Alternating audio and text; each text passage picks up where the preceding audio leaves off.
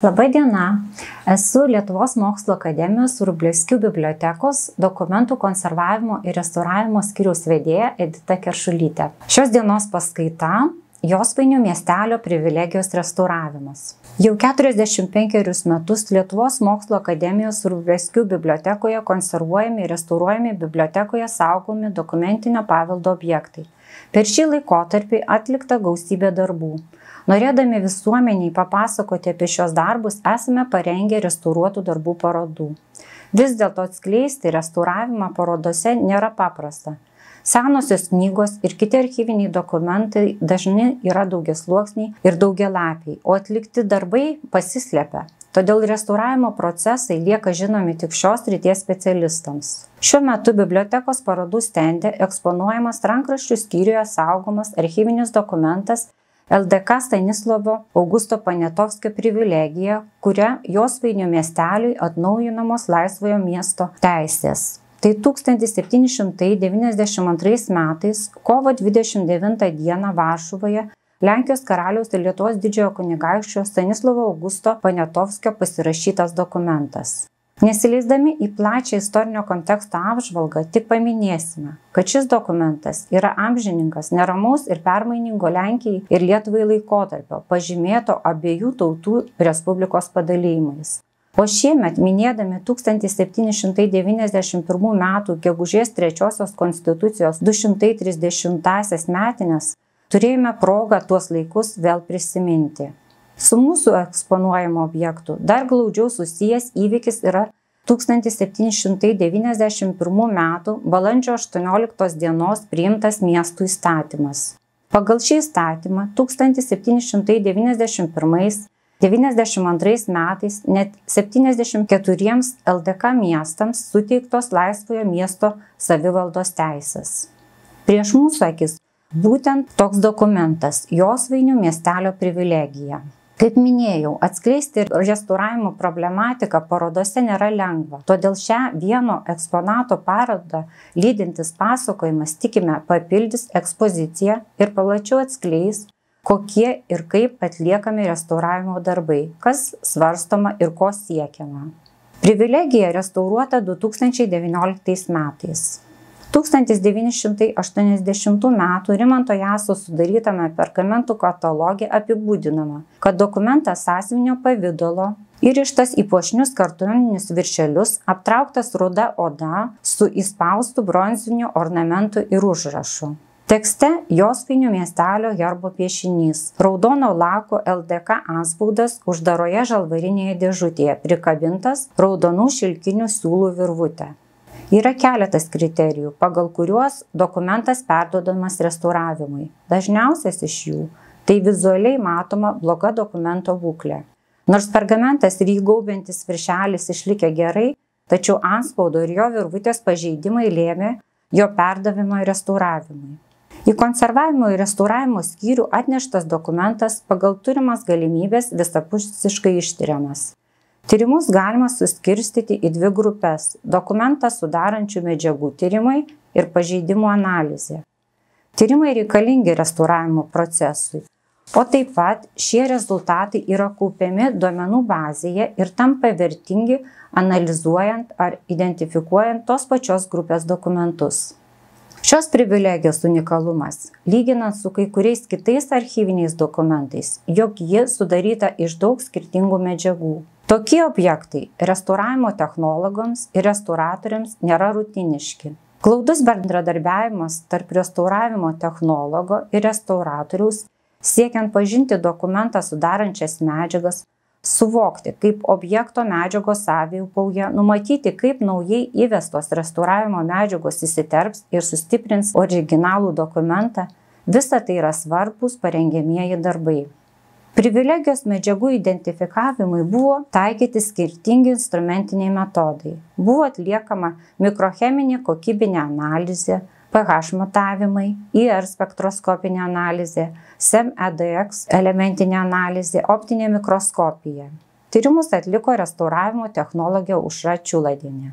Tyrimų metu nustatyta viršelio dengiamoji medžiaga jaučio oda odos išdirbimas augalinis hidrolizuotais galo taninais. Odos įspauduose nustatytas auksas.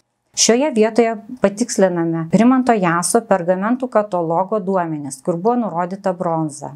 Virvutė suvita iš šilkinių siūlų. Anspaudo dėžutė žalvarinė. Anspaudo masės pagrindas vaškas. Anspaudui spalvą suteikiantis pigmentas cinoberis.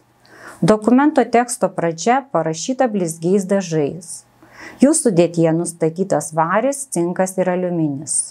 Buvo tirti herbo piešinio vaizduojančio raitelį dažai. Nežymiai blizgios pilkos spalvos apvade nustatytas alavas. Ploname, taip pat blizgiame apvadėlėje nustatytas varis su nedidelė cinko priemaiša. Geltonos spalvos pigmentas švinoksidas, tamsiai mėlynas azuritas, raudonos spalvos pigmentas cinoberis, rudos spalvos rudoji ochra. Kitas etapas - būklės ir pažeidimų vizualus vertinimas prieš pradedant praktinius restauravimo darbus. Pergamento būklė buvo patenkinama, aptiktos deformacijos, daugiausia pakraščiuose, pastebėti negilus įplyšimai. Aplink blizgiais dažais rašytas raidės, kai kur matomi pažaliavimai. Kitose vietose rašalas ir herbo dažai stabilus. Dokumento viršelio kartonas šiek tiek deformuotas. Oda vietomis aptrinta ir dėmėta, nugarėlės dalyje oda įplyšusi prarasti fragmentai. Viršelio vidinėje pusėje Prikliuotas marmurinis popierius ties nugarėlė buvo išplyšęs. Virvutė jungianti anspaudą su dokumentu buvo perkirpta ir suraišiota. Vietomis siūlų gyjos išsivyjusios. Anspaudo dėžutės viduje ir anspaudo paviršiuje buvo žalios spalvos trapių korozijos produktų sluoksnis.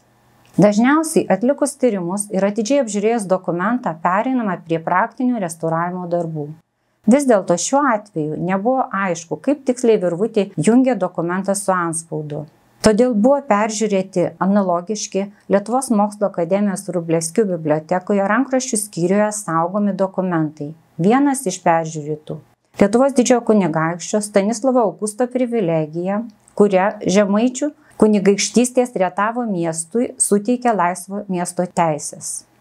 Šis dokumentas pasirašytas 1792 metais, kovo 22 dieną, tai yra septyniomis dienomis anksčiau nei restauruotasis, tikrai vizualiai priskirtinas tai pačiai dokumentų grupiai ir jo apžiūra atskleidė, kaip restauruojamosios privilegijos virvutė buvo įverta.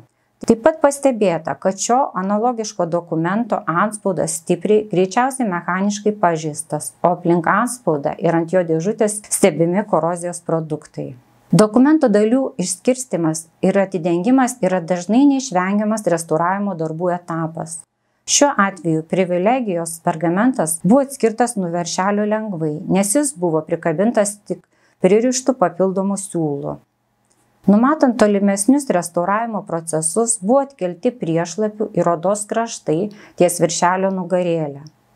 Antspaudo dėžutės viduje, ant dėžutės senelių ir ant antspaudų buvo gausybė korozijos produktų, kuriuos buvo būtina išvalyti. Tai, kad virvutė buvo nukirpta, leido daryti prielaidą, kad pasiekti dėžutės vidinės senelės ir dugną įmanoma. Vis tik anspaudo su jame įtvirtintomis virvutėmis išėmimas buvo tikrai sudėtingas. Vaškas ganėtinai minkšta medžiaga, todėl išmontavimas buvo atliekamas palaipsniui, lietai ir atsargiai, o dėžutės dukne rasti korozijos paveikti sluoksniai pateisino pastangas.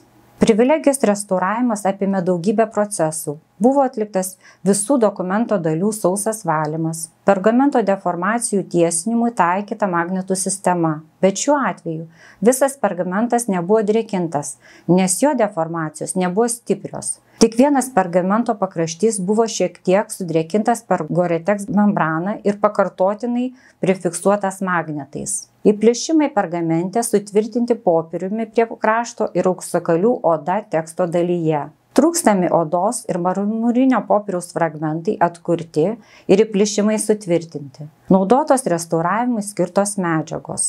Anspaudą dengiantis korozijos produktai išvalyti. Anspaudo masės trūkstami fragmentai ir ištrupėjimai, kurie buvo aptikti išėmus anspaudą iš dėžutės, atkurti bičių vaško ir damaros mišinio mase. Popieriaus odos ir pergamento ir antspaudų restauravimas yra įprastas darbas dokumentų restauratoriams. Tuo tarpu metalinių ir tekstilinių detalių restauravimas dokumentų restauratoriams nėra toks dažnas.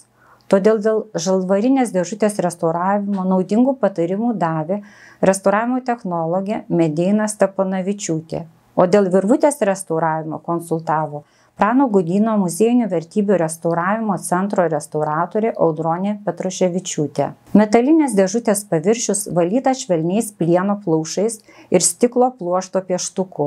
Įdomu tai, kad išvalius dėžutės dugną atsidengia negilus metalo subraižymai, kurie atitinka virvutės įvėrimo kryptis. Nėra aišku, kokia šių subraižymų paskirtis ar jie buvo skirti geresniam metalų ir vaško sluoksnių sukibimui, kaip tai daroma jungiant skirtingos vaško sluoksnius kito tipo atspauduose, ar tai žemė virvutės įvėrimui, ar dar kokia kita priežastis. Nors po restauravimo buvusi virvutės perkirptoje vieta beveik nepastebima, tačiau šios vietos restauravimas užtruko ilgai.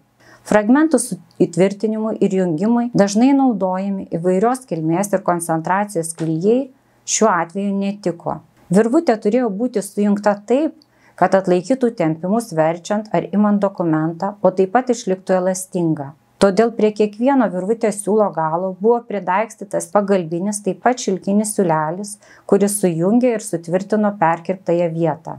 Užbaigiant turime pasakyti, kad į šį pasakojimą neįterpėme etinių svarstymų, kurie lydi kiekvieną restauravimo žingsnį.